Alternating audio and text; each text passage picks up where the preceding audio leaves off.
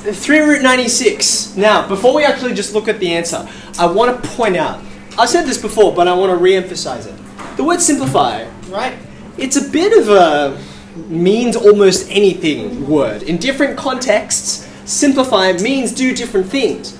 But I think most people looked at this and instinctively said, okay, if I can take something out of this 96, if I can take some square root out of there, then that will be simpler.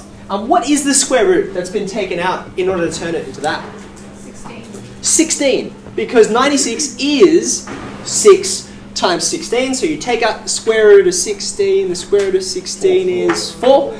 3 times 4 is 12. Okay? But here's the important thing, right? The square root of 6, like, even though this number at the front is bigger, having this guy be smaller is more valuable, right? Having the number under the square root is more valuable than having a small number here. And a perfect example of why is part B. Have a look. You can see here um, we've got a line of working here, which is very, very helpful. Do you agree with that line of working? Yeah. Yeah? So you can see you've taken out square root of 9, and then you've taken out the square root of 16, which gives you these guys.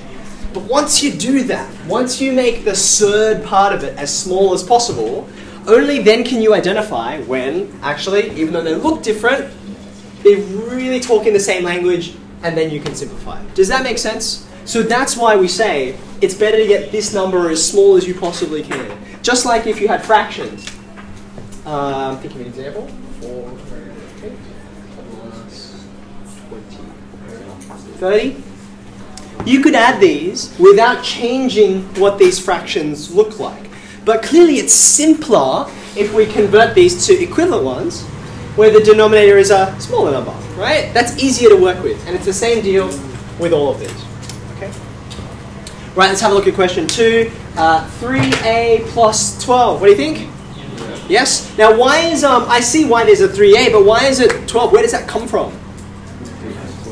Yeah, that 3 is being applied to everything inside the brackets. If I had more things in here, like a plus 4 plus x plus pi plus whatever you like, everything gets multiplied by 3. That's what the brackets are all about. Uh, okay, have a look here. Do we have... No, we don't have a line of working. So before this line, the answer, what's the line you can put straight after this? What line would you put straight after it? Anyone with a hand up? I'll give you a clue. It starts with 1 minus. Mind blowing, right? Yeah, Danielle, what do you think? Um, 1 minus 2x plus 10. Okay, now you've got to be really careful here, right? We've got a 2 and a 5, and that does give you 10, but it's not just 2. It's a, and this is an easy mistake to make, which is why I've brought your attention to it. Uh, it's easy to just say, oh yeah, I know what to do with that, and you expand it just like this guy. So 2x plus 10 is a common mistake to make with this kind of question. But now you notice, actually, it's minus 2 times all of these things, so it should be 1, I might write this down, before this line, it's actually 1 minus 2x minus 10. Do you agree with that? Yep. Does that equal minus 2x minus 9? Sure. Yeah. I think it does, right? You're collecting like terms, the 1 and the minus 10, you can put them together, which is what you get here. Fantastic. All right. Now, last one. c squared plus 49. You square that, you get c squared. You square that, you get 49. What do you think? Now I think it's actually missing a tiny thing on the end. Can someone suggest to me what is it missing? Any takers? Yeah, Jennifer.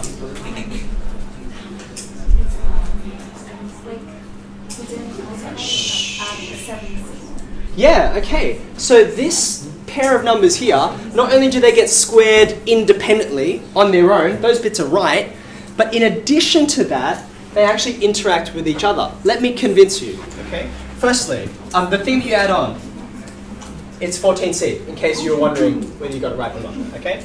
Um, c plus 7, or squared, that's shorthand, right? Because us, us mathematicians, we love to be as concise as possible, but in longhand it might be a bit easier to see. Maybe you want to write this down with me.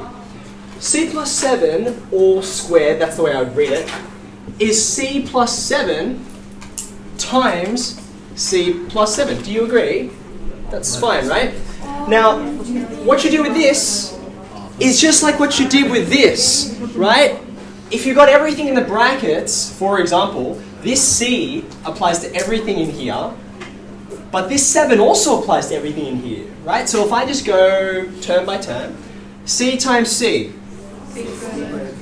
which is which is exactly oh hello, which is exactly right. I really dislike this.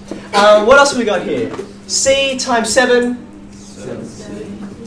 Okay, so I've done this one against both of those. So far, so good. But you can see I haven't talked about, not my fingers, that guy there. You see that? So I'm going to do the same thing with this guy on both of these. So 7 times C. And now you can see where the 14C comes from. You see where it's come together? Plus 49. Do you agree? And then these two can left to be that. Okay. There's one other quick way that you can convince yourself. Some of you have seen this before. Um, C plus 7 all squared. We call it squared because you can draw it with a square, right? Let me just show you what C plus 7 all squared would look like. C plus 7. A C part and a 7 part. Is that okay? C part, 7 part. Like that. Do you agree that this picture is C plus 7 squared? Is that okay? Okay, where's C squared? Oh, here. It's the big one over here. Where's 49?